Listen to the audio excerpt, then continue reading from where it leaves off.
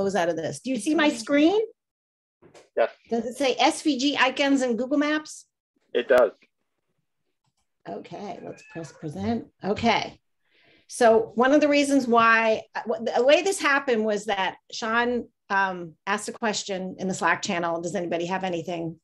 And I'm always there's always some problem that I'm trying to solve. So I just wrote the problem that I'm trying to solve, and then an hour later, I solved it. So I said, you know what? This is another excuse. I could do a slideshow. I love doing slideshows. That's my favorite part. So anyway, um, this is the the SVG icons in Google Maps. I had not worked with Google Maps before, but it turns out it's a lot of fun to try to switch or to play around with these um, icons. And, and you can't do as many things. It's, you don't have the full power of, or maybe you do, and I just don't know how, but it's a little more complicated than just doing it, you know, like in CSS and JavaScript, because it, as a, you know, if you've been in web development, you really can fine tune a lot of things and, and Google makes it a little harder. Okay, so let's see what we've got. So what's the problem? The problem was, is that, um, I wrote, oh, so the, the MTA, I work for the New York MTA and the maps already exist and they have these um, icons on them, but the icons do not match with the line. That's, that's the problem I'm gonna solve here. There was actually another part of the problem where they had these estimated buses that need to be turned gray and squares, but um, we're not that that's not going to be part of this talk. This is just like a simple kind of how do I solve this coding problem? Okay, so let's see. So this is how they look now. Um, this is actually how they look now on the site. So you can see that the icons, if I go like this, can you see my, so see how they're like, um, they're circular and they have the picture of the bus and they have that white, and they actually have these arrows. We have, that's actually on Monday, we have to work on the arrows. But um, so what we need to do is get this icon to match with this red. See how the, there's red over here. That's the color of the line. I guess it's um, in Manhattan, they have red. What needs to change? So the, the bus icon should match the bus line and the estimated bus should be gray, but we're not going to talk that much about the what um Right. What of this right now is like custom to your site, the bus line completely and all the icons? Um, the, well, the little, um, the code also does these little stops.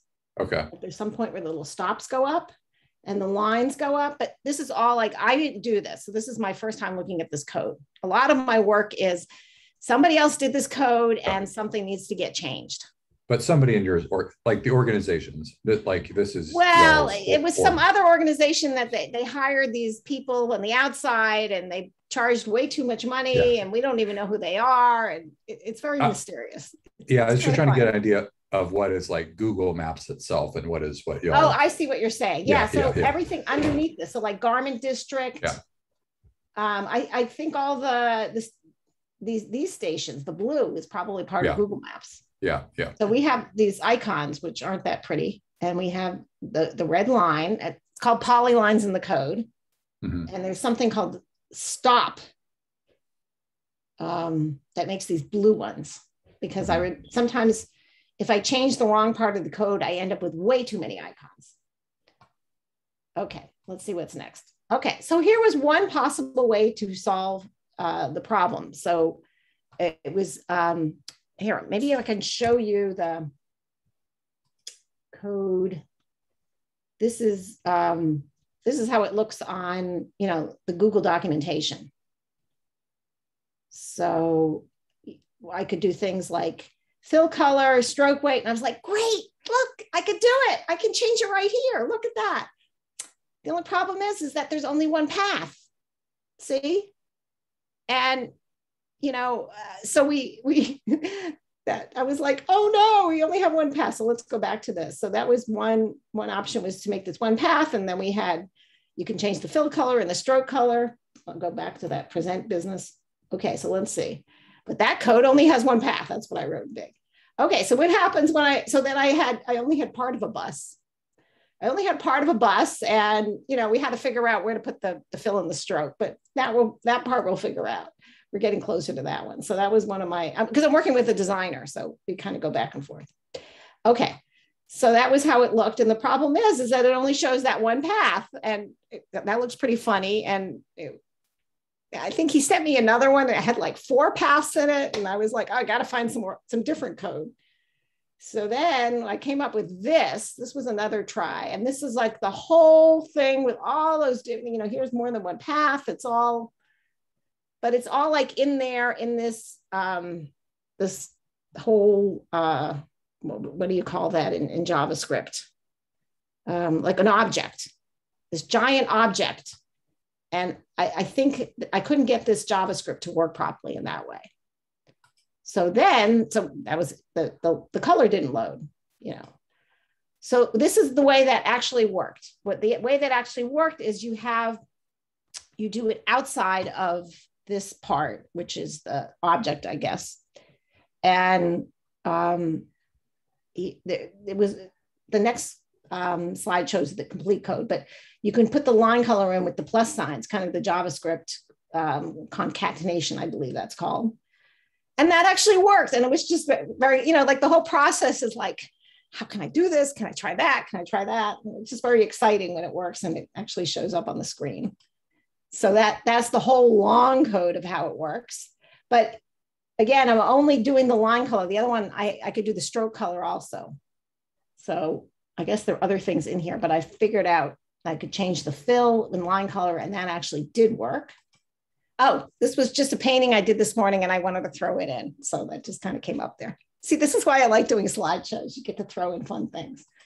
Okay, so then, so anyway, the bus with that other code, the bus finally worked, and it, you know, the green bus icon matches the line and you know we still have to work on the, the rounding and you know it actually got further than this but this was the end of this was solving that particular piece. So i was kind of excited about seeing this is with the red line and it matches. So that's it. And there, there's the um, all these links so you can learn more. So that is my whole talk. Wow. I loved it. I love i love i love seeing how people like you know, attack a problem and then solve it. Um, yeah. And I like that you did that painting this morning by yourself. Like that was it. That you, you know, so it's how funny. I, I do these a lot. So okay. um, somebody asked me how long did it take you, and I said, well, you know, it's like an hour chopped up into like five or fifteen minute increments or whatever. But I say actually, I started when I was five years old. So.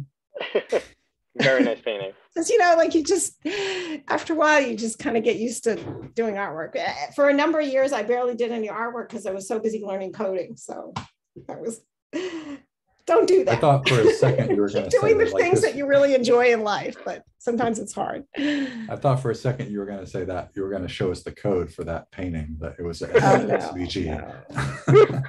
No. it's just, just one div.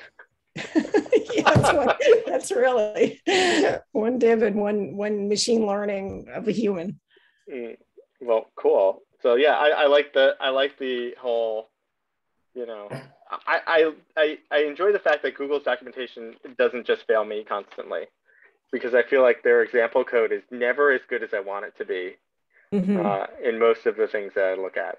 Uh, yeah, what actually solved it was probably uh, the, the, the bottom two links are, are um, I think they're probably Stack Overflow.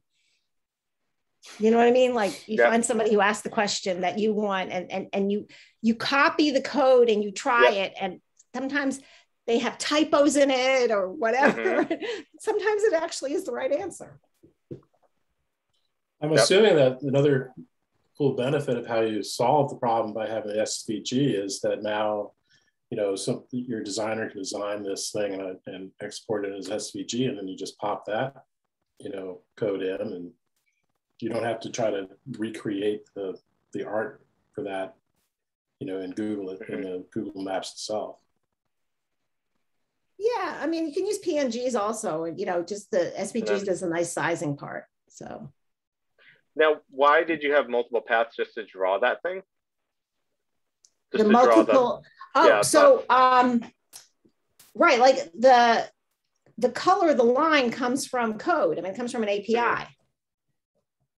So, I mean, but you had different. I could go on the site and show you like the APIs and digging into to all that. But were the different paths just to make that one icon, or were the different paths conditionally changing which icon showed? It was just to make so, that one bus. Um, right. So it turns out I probably can use the same icon for most of it, but this mm-hmm. estimated is going to be gray. Right.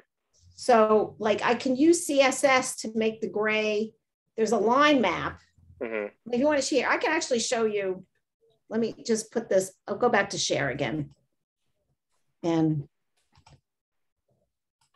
somebody moved something. Okay, can you see my screen?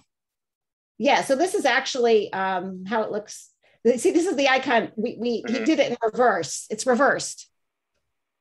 And whatever, he has to fix it. So so the, yep. the it's supposed to show the other way, but you can see the green is showing up, but then mm-hmm.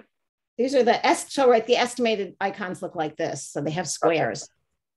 So that's kind of new. And then you click on this and you get a different map. And I was working on these badges so that we get the arrival times to show up properly because they weren't showing up. So, oh, and this is a legend. This is another Google Google Maps thing that you can do.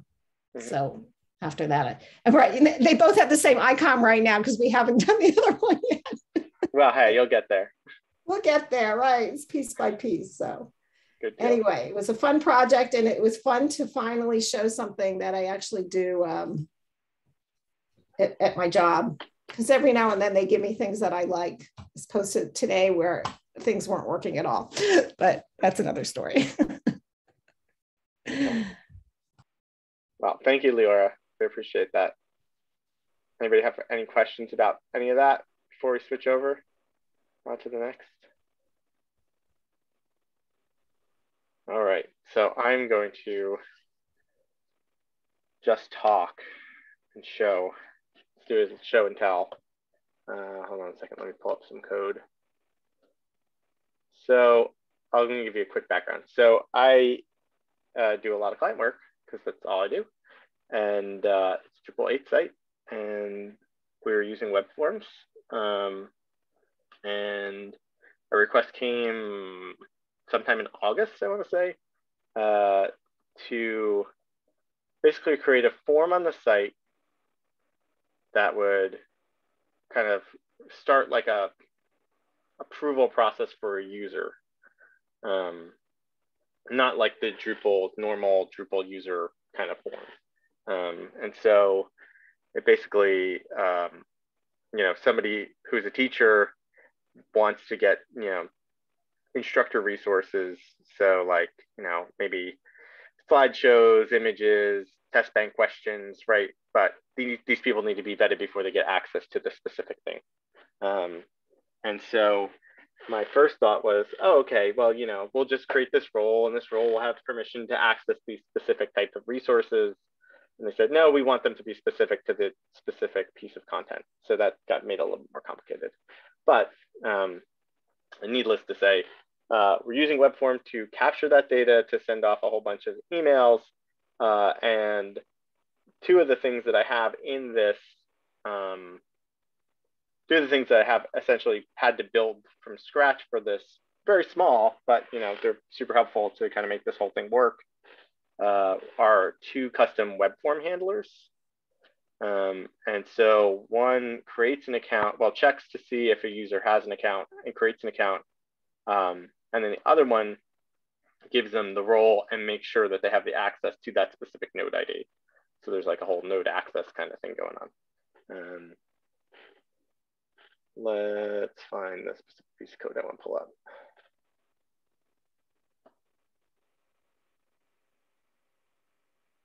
Uh,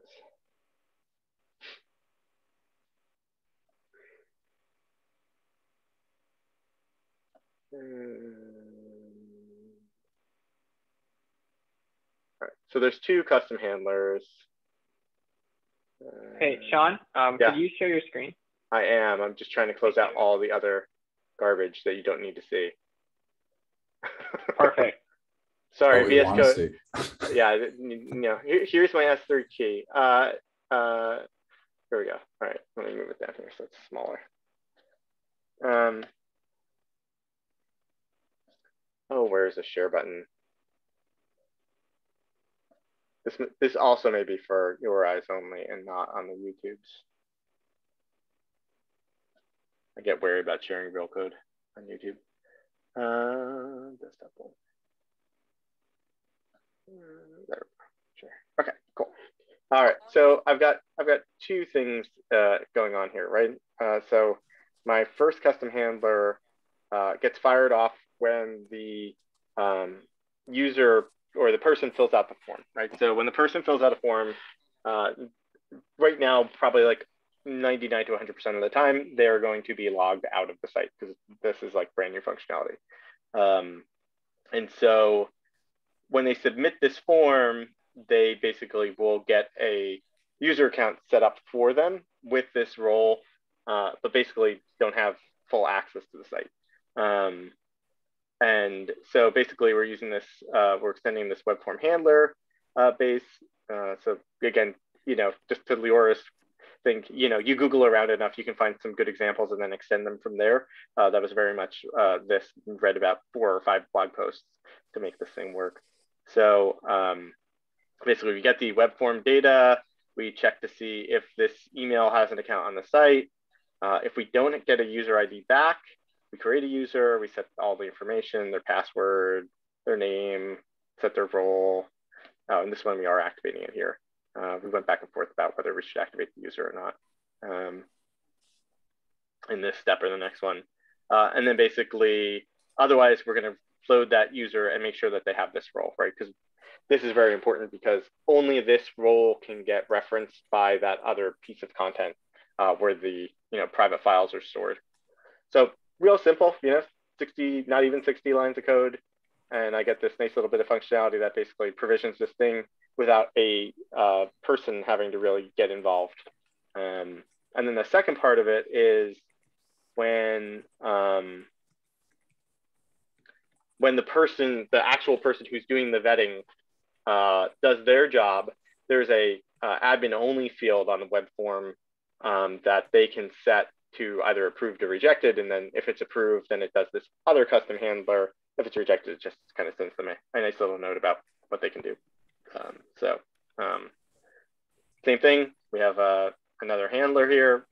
Um, we get our web form data. So basically when that person is updating this node, uh, this is what's gonna happen. So this post save is just firing off after they hit the save button, after they update it. Uh, we check to see what the user is. Um, we make sure that there's a value value for this request source thing. Um, so there's a hidden field about where the request was made from, like what thing they're trying to get access to. Uh, so we just want to double check that the you know form valid the form was a valid piece of information, so we don't like end up throwing errors uh, when we try to set this. So uh, if it is numeric and we get a, a source back, then we can load that node, and then basically we're going to add this person, this user, uh, to the list of um, reference instructors who have access to this. And then we just save that node, the node updates, and you know that instructor gets an email that says, hey, go log in or go to this page and you can now download these links. And so this whole process essentially goes from a bunch of buttons that say to go to the form to request access to request access for this specific content. And then once they have access and are referenced by the piece of content, they get um, kind of uh, S3 magic links. Uh, so they're like expiring links that only exist for, you know, 15 minutes or something. Um, so they can't share these resources, you know, on Twitter and have people actually download them. Um, you know, not that vetted people are going to do that, but just in case, we we added an extra check in there just to not have these links like kind of always persist um, in the site. So it's pretty straightforward. You know, didn't take long uh, to do. Like uh, you know, Leora said, you know, it took her about an hour to solve her problem. Mine probably took me about two just to get it all wired up, tested, and run it through. But you know, pretty straightforward. Once you know you found something to kind of go off, um, and um, you know, for a request that came in in August and basically had to be done by the middle of September or so, you know, it was pretty straightforward to do this part, get it all wired up. Actually hooks up to HubSpot too, so there's a whole nother complexity piece here that you know dumps that data into their CRM um, but that, you know, was again, there's a module for that uh, kind of thing. So uh, we just tied the, the, hub, the web form and the HubSpot uh, form together. So, um, you know, there's a whole bunch of moving parts, but essentially like create this nice workflow, Uh, this is like phase one of probably two or three phases on this um, to build out some more functionality around this stuff. But you know, nice easy wins um, without too much work um, to get something like this done. How did you validate the user? I missed something. Like, how do you know who really the person is? Oh, it's like a real person checking, right? So um, there's there, there's no computer involved in that. Basically, the the person at the client or more than one person at the client will review to make sure, like, okay, are you are you the professor teaching this course that you say you're teaching that you want this book for? Um, did you use a university email address, right? Did you provide me the information that you know I can say yes, you are the person you say you are, uh, and you're not faking, you know, faking to be somebody. So there's like, uh, you know, a human checking, you know, the data that's entered into this form. And previously, they used to just mail this stuff or email it, right? So basically, the old way was somebody filled out a form, they vetted that person. If they vetted that person, then they sent them a bunch of email links. So there's actually no protection on those links, right? So if they actually did send it to somebody, right, and they got the link, well, I have the resource now, I could spread it on the internet, right? Um, not to, say once they download these files, it's not the same thing, but at least it adds a little bit uh, more automation into the process uh, and doesn't just have like raw files sitting in somebody's email account um, for forever. As we know, our Gmail accounts just keep growing and growing and growing. Um, a, a question for later. Um, okay. What's the story with Rockowitz? Uh, read his blog. I, have been I've been getting oh, it. That's a, I just wondered if there That's was uh, oh, maybe what uh, Ted had some comment on it. Uh, oh. uh, you know, because he's been uh, fired up about um, well, if you've been reading it, you know, and I just wondered well, what the, what the uh, the long term was with him bailing on the uh, web form. So he didn't bail on it. Uh, oh, last, post I, last post I read, which was like last month maybe, was that uh, he works for Memorial Sloan Kettering. And oh, really? I missed that. Yeah, that's who he works for. Uh, okay. And they were abandoning Drupal for Sitecore, I think is what they were doing um, if blog posts served me correctly. Um, and so he was like, you know, basically over the past year or so, he's been writing these blog posts of like, well, if Drupal's not my job, do I continue to do this and yes, stuff like right, that? Right. Um, and essentially, you know, the last blog post was like, hooray, they decided to not go to Sitecore because it was such a pain in the butt. And actually, they're going to go more Drupal, uh, was kind of the, the synopsis of that. So he's staying in the community, but I would assume he's still going to maintain the web form module, but maybe not as aggressively as you had been doing. No, it's, I, I, I, I missed all because I'm not really seeing the blog. I'm just seeing uh, occasional um, posts come flying through my phone uh, because of my Drupal interest. But it's funny because I used to work for uh, Memorial Sloan Kettering also oh, yeah. years, many years ago. I, with when they were actually producing one of their very first uh, websites which was hard coded. Of course. Content doesn't need to change. I did not know. That, yeah, I didn't know that uh, um, that his organization, Sloan Kettering, had switched back. I knew that they. I didn't know what they were switching to, but I remember the blog post where he's saying, "Well, I'm not I don't think they ever made the switch. I think they all, we're oh. all we're are, we're in the process of getting the switch done, and then it was just such a a nightmare. And I, I'm assuming the person who pushed for that switch maybe shifted roles or you know exited or something because there seemed to be a substantial backtrack. Um, yeah. Because it didn't seem vetted, right? Like, I think yeah. you know they got sold on the idea of a product, and then the reality of the product wasn't what they thought it was, or something of that nature. Um, and you know, that getting happens. all these getting all these developers ramped up on yet another technology was a lot more cumbersome than they had anticipated, I think. That's what you get when you get managers making decisions for uh, the team. Well, senior managers like uh, VP type people. Yeah. Who, uh, here, here are some great uh, news or get sold a story. Yeah, I've been through that. Uh, so I think that's the story. Uh, you know, we could have him on. He could, you know, talk more about it. But I think I think that's the moral of the story is you know, open source wins. Um, again.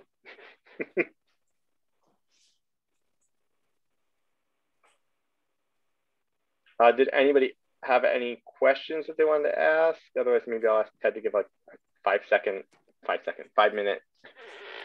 What's what's happened since the last time you spoke here? I actually have to go get dinner. The five seconds. Uh, yeah, give me five seconds. is that is it, it worked? No, but the dev version works. It does update your site via Composer, and um, there is instructions in the README for the for the 2.x version of the module, which I'll link to in a second, for how to test it. Like if you wanted to test it like on a completely new project versus like mm-hmm. um, starting adding it to one of your projects. But anyways, we're looking for testers.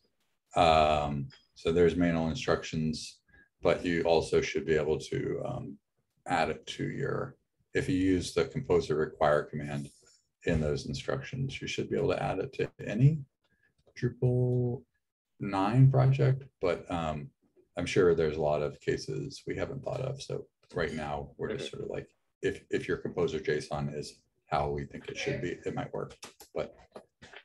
I'll play with it. All right, I gotta go. No, no, no. Stay, stay. Apparently I'm not called to dinner. Uh, well, thank you for the update. there's a video in the Dries note, which I think is available to watch maybe. Yeah, I think they're there, yeah. Um, so you can skip to, I can't tell you the exact minutes uh, where my video is. No, it might be on his blog. He had chunked up the blog, I think. His blog. Oh yeah, the videos on his on his blog. Yeah. yeah. So um, yeah, so it's like it's available for testing. We're trying to figure out like, uh, you know, like edge cases, like how should we handle distributions, yeah. um, stuff like that, and trying to like figure out like what is MVP as far as functionality. Um, we hope to get an alpha version of the contrib module out soon and then a patch or a merge request for core soonish also. So um, yeah. It, uh, Exciting stuff. Yeah, it doesn't actually do the really advanced uh, package signing stuff because Drupal.org has to do that part first. So that would be something we would plug in later once Drupal.org implements it. So. So would yeah. that not be in core until that happens, or? Um, probably not. Um, it it would be in core but in alpha but then like they rip out they rip out alpha modules but then um, so it'd be in the git checkout but not in the release um, mm-hmm. and then i i'm going to advocate for that if it, if it takes a long time for Drupal.org to implement it that we should still include it if it's through like a form where you click it because there's like two different things that'll offer like during cron and mm-hmm. then during just you see a form and you say update to this version. Um, so to me, like updating via form is not much different than updating via command line as far as right. Um, we already offer updating via form. Uh, I think the cron thing is really is really important to be as secure as we can because the first security release that comes out once a bunch of sites are using this, mm-hmm. it's obviously a big attack vector if we got yeah. it wrong. Um, For sure. But if people are updating like individually, it's not as big a deal. But yeah, we'll see. I don't. I haven't really like written up my reason for that reasoning yet, but I don't. Yeah, yeah. You can update it if you install the project. You can update via like a form, or you can set it on cron. But you always have to make sure that you're like not up to date. Obviously, you have to. So that's why the manual instructions are like get the mm-hmm. second to last Drupal version so, so you don't have to yeah. wait around for an update to come out to test the module. Gotcha. So, yeah. Cool. Well, thank you for that. Yeah. Cool. Good to see everybody. Enjoy your dinner. pizza? P- pizza for dinner? Is that what it is? Uh, no, it's some sort of like chicken pot pie. Do you fold your pot pie? there you go. It's in a bowl. you got it. Like, it doesn't look like a pot pie anymore. It's a bowl, but okay. I'm sure it'll be good. See y'all later. Yep. Bye. Bye. All right. We didn't get Kevin. Kevin didn't. Kevin didn't say. Kevin, do you fold your pizza?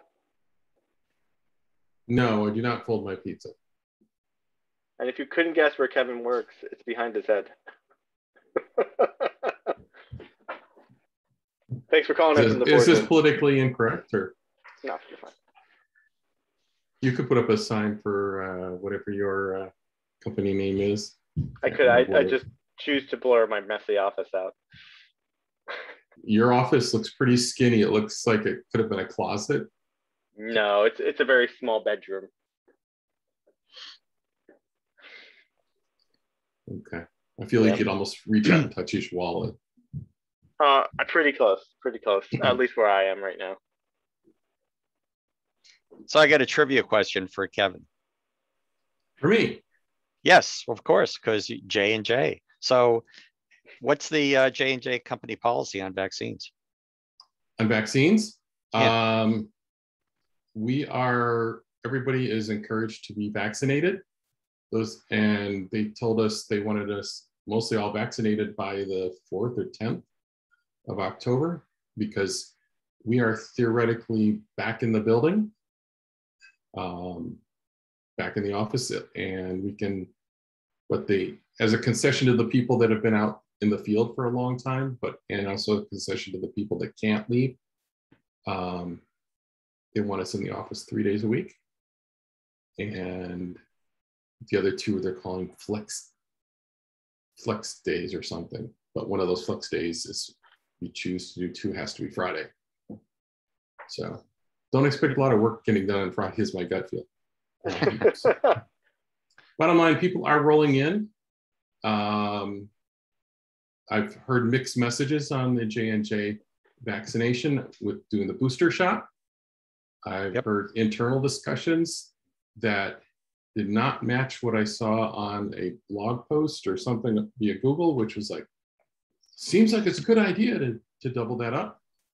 Um, but I, but there's, um, there's, I have information from inside from a vice president, which I won't repeat because you're recording this message, but